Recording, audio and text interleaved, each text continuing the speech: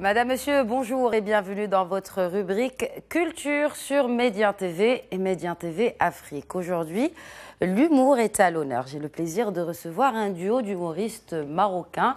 Cela fait deux ans qu'ils ne sont pas montés sur scène et aujourd'hui, ils font eh bien, leur grand retour. Il s'agit de Driss et Mehdi, euh, le duo d'humoristes sur le plateau de Médien TV aujourd'hui. Driss, bonsoir. Bonsoir. Mehdi, bonjour. Bonjour, c'est pas grave. C'est la même chose. On va essayer de parler français parce que Médien TV est également euh, euh, diffusé en, Afrique. Donc voilà. Alors. vous revenez pour un spectacle, Marocologie. Avant d'en parler, nous allons un peu parler de votre parcours. Vous vous rencontrez en 2005. Euh, en tout cas, vous commencez un peu à monter sur scène de manière amateur quand vous étiez en école d'ingénieur. Et puis en 2008, on va dire que c'est un peu la consécration, ou en tout cas, vous, euh, vous passez à la télé dans un programme euh, sur la première chaîne. Et c'est cela qui a fait que votre carrière d'humoriste a commencé. C'est cela? Oui, euh, il y avait euh, on, a déjà passé un, petit concours euh, de comique amateur en 2007. Mhm. Et c'était vraiment le vrai début, on va dire, le vrai début entre Driss et Mehdi, c'était ça. On a gagné le premier prix, ça s'appelait le meilleur comique. Exactement. Enfin, les meilleurs comiques, du coup. ça ne vous dérange pas qu'on vous parle à la première personne au lieu de... Non, non, non. ça, ça, en fait, on a pris un peu l'habitude, donc normal. Donc après, en 2008, euh, il y avait le concours d'un télécrochet qui s'appelle Comédia sur la première chaîne. Mhm. Et voilà, on a passé le concours et on était accepté et euh, on, a, on a gagné le premier prix. C'était par vote du public. Et c'est là où la vraie carrière de Driss Média a commencé. Alors, euh, on parle maintenant de marocologie. Alors, quand on dit marocologie, est-ce que vous faites, parce que vous êtes ingénieur, je le rappelle, est-ce que c'est une étude scientifique du Maroc et des Marocains? Oui, oui, si on peut dire ça. Donc, euh, parlez-en un peu plus. Est-ce que vous étudiez la psychologie des Marocains le, enfin, Je sais que c'est vous retracez un peu le quotidien des, des, Marocains. Qu'est-ce que, qu'est-ce que, quel est le but euh, derrière marocologie? En fait, on a, on a transformé euh, le, le terme marocologie en, en lui donnant, c'est comme une, une science mais qui n'est pas exacte, le fait d'être marocain. Donc voilà, on parle des situations que tous les Marocains ont vécues mhm. depuis leur enfance, l'éducation, les, relations, la, relation entre les Marocains et les, nouvelles technologies, les réseaux sociaux, euh, surtout avec euh, tous les nouveaux projets, euh, les TGV. voilà, on a fait un peu, un peu tout ce qui peut toucher la société marocaine, bien sûr avec notre touche d'humour.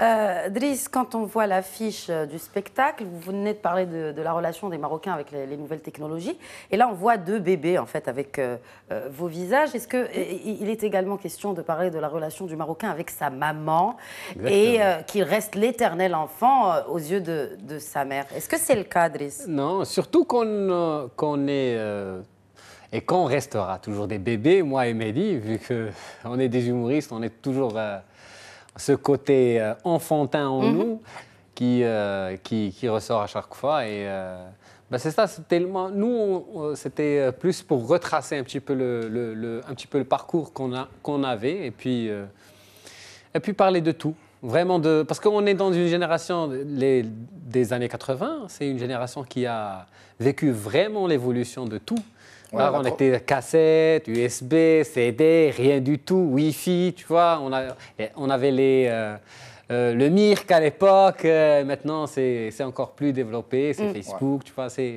Donc c'est un peu, en fait, voilà, c'est un spectacle de, jeunes, en fait. Exactement.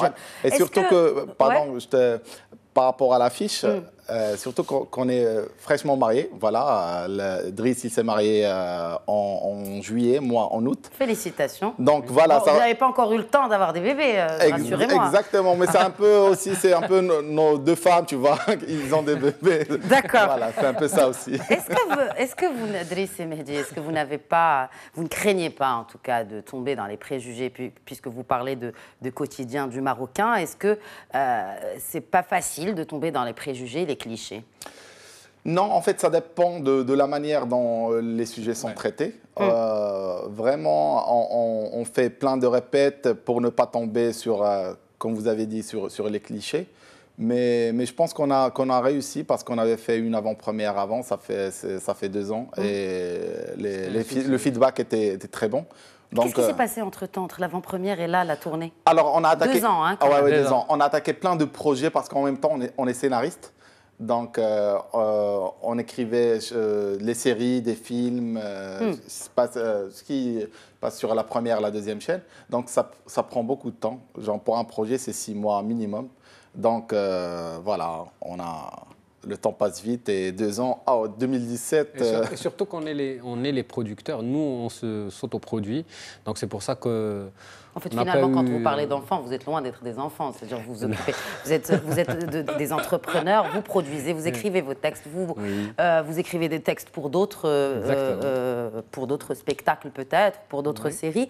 Est-ce que, comment comment vous gérez euh, cette euh, passion pour euh, la scène et aussi pour la télé? Alors, vous êtes plutôt télé ou scène, Driss?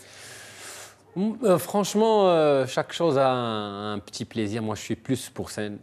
Pour scène, parce que la, scène, tu as le feedback sur le, sur le champ.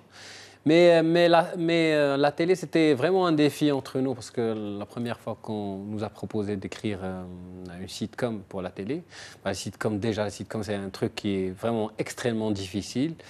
Euh, déjà, tu as, tu, as un refus d'avance, tu vois, un refus d'avance du téléspectateur. Et, et, on a réussi à faire ça. On a, on a, je pense qu'on a battu le record dans la première saison. Et on a rebattu notre record encore dans la, la, en, record d'audience. record d'audience. Et, euh, et, ça, a fait, ça a fait le buzz, tu vois. mais, mais si on, fait plus la télé pour, pour garder un peu la notoriété, parce que la télé, c'est la masse. C'est pas comme le, théâtre, c'est des petites niches que tu cherches qui payent pour venir vous voir. Donc, c'est pas la même chose. Donc, euh, on essaie d'équilibrer entre les deux. Pour, euh, voilà, pour garder l'image de marque et, et se faire plaisir sur scène. Est-ce que c'est justement en essayant de garder l'image de marque qu'on peut peut-être euh, euh, faire finalement ou peut-être même perdre son public? Vous n'avez pas peur de cela? Non, parce que euh, on est. Parce que quand vous dites, euh, euh, c'est vrai que les sitcoms, on a généralement des, des, préjugés. Encore une fois, on retombe dans, dans ce terme sur sur les sitcoms. Vous n'avez pas peur de cela Vous n'avez pas peur qu'on vous catégorise dans. Non, parce que quand on parle de sitcom, on est en tant que scénariste, pas en tant que comédien. Ah, très bien. Et dans et les projets qu'on fait dans la télé, c'est on, on, fait beaucoup les, les petites capsules. C'est notre style d'humour, c'est notre monde. Donc on, garde. On se fait plaisir. On, se fait plaisir. On se fait plaisir aussi. Donc on garde notre public. Voilà. Alors comment on sait quand on est marocain? Je sais que vous avez tourné quelque chose. Euh, et euh, comment euh, on sait que on est marocain ou on est artiste? Comment on sait qu'on est artiste marocain? En trois mots. Vous et Driss et après Mehdi. Comment on sait qu'on est artiste, artiste marocain, ah, Comment on est artiste marocain C'est quand on galère pour trouver des salles. Ça c'est ça c'est marocain. Oui. Et bah rien, je sais pas. Euh, c'est ce qui reprend la main? Euh, Je reprends, donne ma main. euh, artiste marocain, euh, bah comme, comme, comme, il a dit, parce que vraiment, l'état des. Par exemple, les comédiens ici au Maroc, ils trouvent vraiment des problèmes pour, pour se produire et s'autoproduire.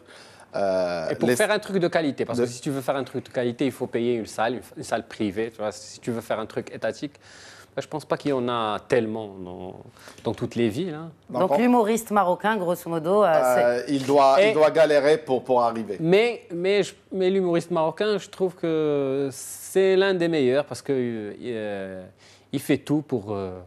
Avec peu de moyens, il, il donne genre une bonne qualité par rapport aux moyens. Voilà. Et, on voit que quand même la scène marocaine en humour est en train de la d'évoluer. Exactement, surtout avec cette vague de jeunes qui arrivent, euh, vraiment avec chacun son style d'humour, euh, chacun son, son, public, et ça fait plaisir. Il manque que les salles.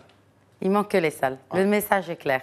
Driss et Mehdi, merci, d'avoir accepté l'invitation de Média TV. Je rappelle à nos téléspectateurs que Driss et Mehdi, donc euh, notre duo euh, d'humoristes marocains, euh, se produira le 21 décembre au studio des Arts Vivants à Casablanca et le 22 au Théâtre National Mohamed V à Rabat et ce sera pour le spectacle Marocco Logis. Merci à tous de nous avoir suivis. Je vous souhaite une excellente suite des programmes sur Médien TV et Médien TV Afrique.